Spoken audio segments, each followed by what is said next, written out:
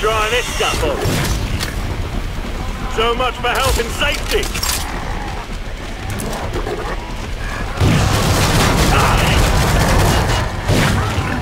Ooh, that's nice.